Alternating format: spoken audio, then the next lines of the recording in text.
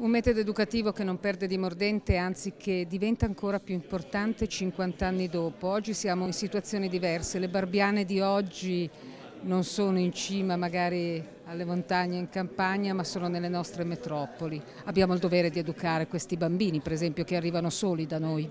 Abbiamo il dovere di educarli attraverso una riscoperta proprio del gusto dello studio, della parola, del rimetterci insieme, del non essere superficiali, un'educazione che va nei contenuti, va sobria, rivolta subito anche come capacità di emancipazione, il grande dono di Don Milani, estremamente attuale, una pedagogia che parte, si dice in questo momento dal basso, dalle periferie, ma che cerca di farlo diventare un linguaggio. Nel periodo dei social, dove tutto diventa virtuale, sapere invece che bisogna essere rigorosi con se stessi anche nel, nel compito educativo credo che sia importante.